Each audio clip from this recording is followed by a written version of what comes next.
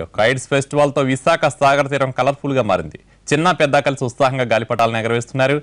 Beach మొత్తం రంగురంగుల గాలిపటాలతో నిండిపోయింది. కైడ్స్ ఎగరేస్తూ పోటీ పడుతున్నారు. భిన్న ఆకృతులతో ఉన్న గాలిపటాలు అందరినీ ఆకట్టుకుంటున్నాయి.